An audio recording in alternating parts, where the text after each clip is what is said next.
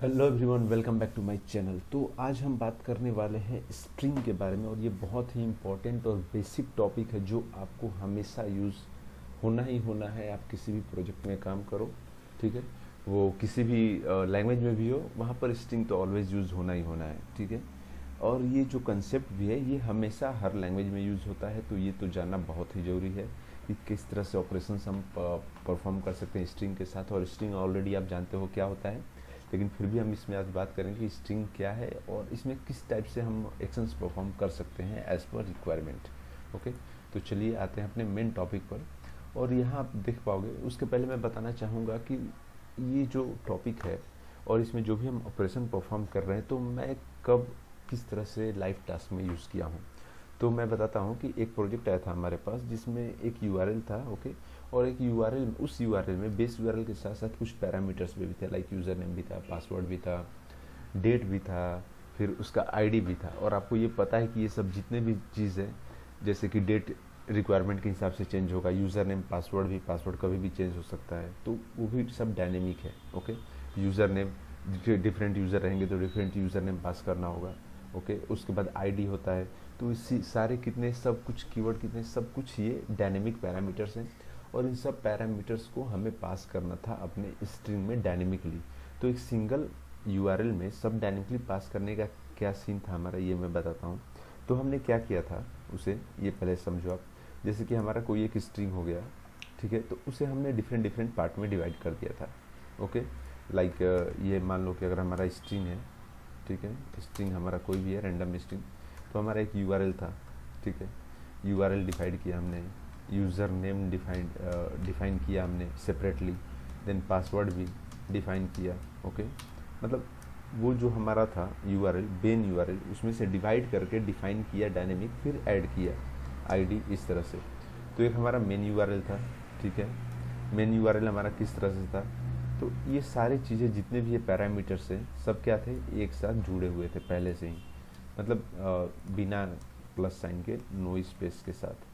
सारे कुछ जुड़े हुए थे, बस उनका एक पार्टिकुलर कैरेक्टर सिंबल था उससे सारे जुड़े हुए थे, इस तरह से मान सकते हो आप। लाइक हमारा यूआरएल हो गया बेस यूआरएल यूज़र नेम हो गया पासवर्ड हो गया आईडी इस तरह से सारा कुछ जुड़ा हुआ है, ठीक है? वो डब्ल्यू डब्ल्यू डॉट करके होता है, उस तरह से एच टी पी एस करके आप कर सकते हो। H D T P S करके हम जो लिखते हैं, डब्ल्यू तो हमारा वेबसाइट हो गया H D T P S हमारा यू आर एल हो गया, ठीक है?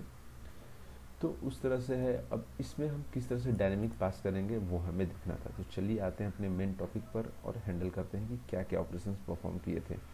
लाइक like, अगर आपको अब क्या क्या चीज़ें परफॉर्म करनी पड़ सकती है? मान लो कि हमने एक यहाँ पर कैर स्ट्रिंग डिफाइन किया उसका टाइप क्या दिया? अरे टाइप दिया। उसके अंदर कुछ वैल्यूज़ पास किए ठीक है? तो डिफरेंट डिफरेंट वैल्यूज़ हो सकता है ये आपका मेन यू हो सकता है यूज़र नेम पासवर्ड और क्या करना है आपको? सबको कंबाइन करके एक सिंगल स्ट्रिंग बनाना है। तो आप क्या करोगे उस समय? तो आप एक स्ट्रिंग डिफाइन किया आपने न्यू स्ट्रिंग और जो आपका कैर अरे वैल का नेम था कैर अरे वैल्यू था, उसको आपने यहाँ पर पास कर दिया तो आपके कैर अरे का वैल्यू क्या था? Char string okay char string को आपने यहाँ पास कर दिया, इसका टाइप कैर अरे हो गया, और इसमें कुछ पैरा वैल्यूज़ हो गए। ए वैल्यूज़ आपके हो गए। इन वैल्यूज़ को हमें क्या करना था? कंबाइन करना था।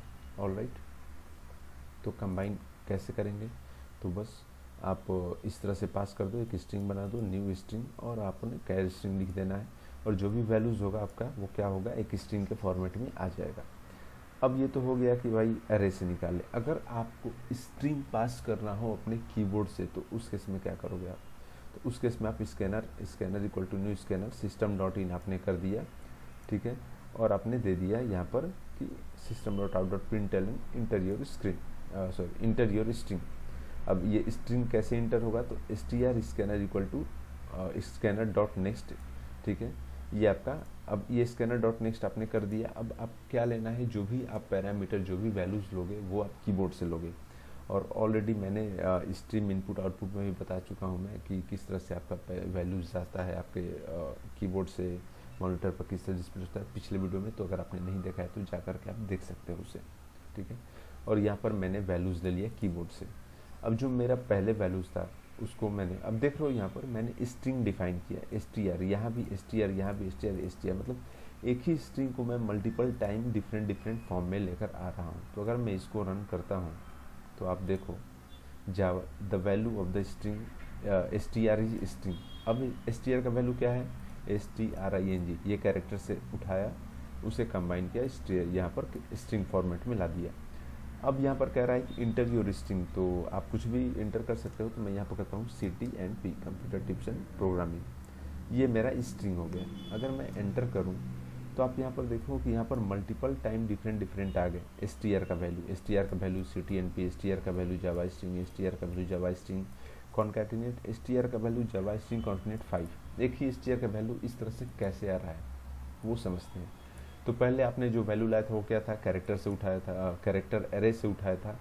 अब उस वैल्यू को आप चेंज करते हो कहाँ से? कीबोर्ड से टाइप करके चेंज कर दिया आपने, यहाँ पर वैल्यू चेंज हो गया।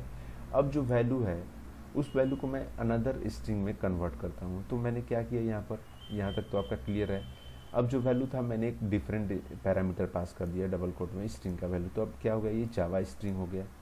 अब सेम जावा स्ट्रिंग को मैंने एक और कॉन्किनेट यहाँ पर जोड़ दिया कॉन्कैटिनेट यहाँ पर एक स्ट्रिंग जोड़ दिया तो वो कैसे हुआ?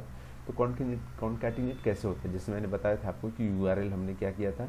डिवाइड कर दिया था, फिर सबको जोड़ दिया था। सबको जोड़ने का क्या सीन है? एक यू स्ट्रिंग ये स्ट्रिंग ये स्ट्रिंग प्लस साइन हमने लिखा और सबको जोड़ा। अब ये हुआ कैसे? ये देखो आप। यहाँ पर एसटीआर हमारा ओल्ड वैल्यू हमने एक स्पेस दे दिया ताकि देखने में अच्छा लगे।